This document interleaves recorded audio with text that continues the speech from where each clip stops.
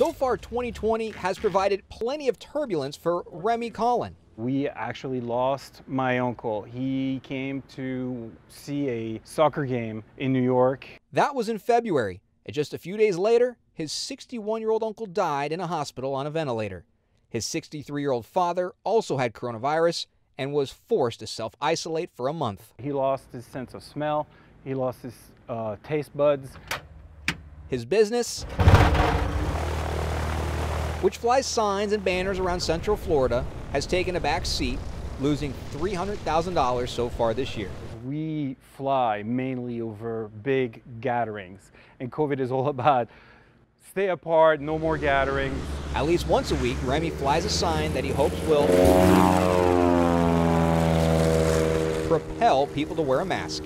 His message stop whining, wear the mask, save lives is one he hopes will land with many.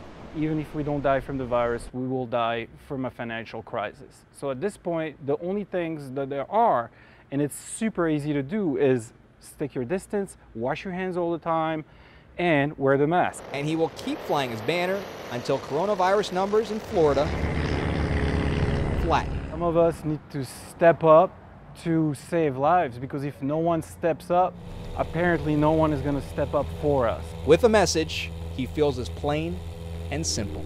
In Volusia County, Asher Wildman, Spectrum News 13.